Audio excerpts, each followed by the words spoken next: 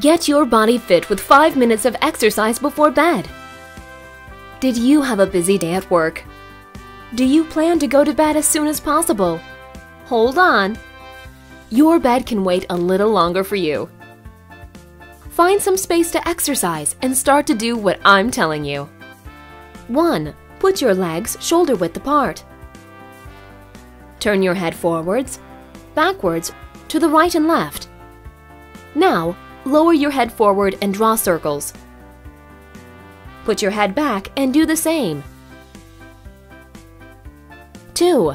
Roll your shoulders three times forward and three times back. 3. Make sure you keep your back straight. Raise your arms above your head and forward. Put your arms back in the same way. Well done! Your body's starting to warm up. 4.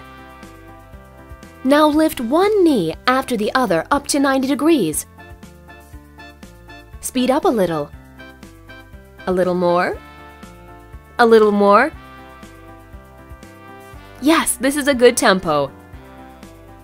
Shake your arms and legs. Your blood circulation has warmed up your body.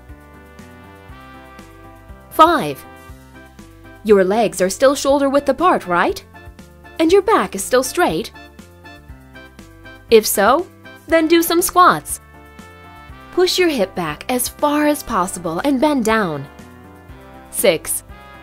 Now, go down to the ground with your hands and knees. Lift your legs up one after the other in 90 degrees. Keep your feet straight and your hands in line with your shoulders. 7. Get into push-up position. But put your knees on the ground. When you're ready, start. 1, 2, 3, 4, 5, 8. Turn back to the push-up position. This time, keep your knees up, put your elbows to the ground. You're ready for doing a plank. You will feel the effect of these exercises right the next morning. And as you keep up, your body begins to change in 10 days.